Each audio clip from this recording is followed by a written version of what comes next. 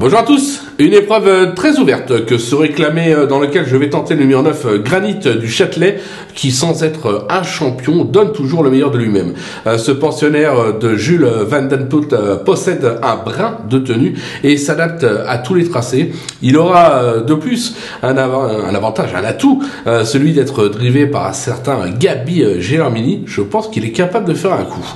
Je vais également me méfier du numéro 3 Oldham Poker qui s'est déjà bien comporté euh, par le passé euh, sur cette piste. Cet élève de Valentin euh, Coligny a prouvé sa forme cet été en s'imposant sur l'herbe de Chartres-sur-Loire et sera confié pour l'occasion à Mathieu Abrivard. Il est capable de faire afficher une cote dans cette épreuve. Maintenant, c'est à vous de jouer. Surtout, n'hésitez pas de liker, de vous abonner à notre chaîne et on se retrouve tout de suite pour un nouveau côté cote dans la septième.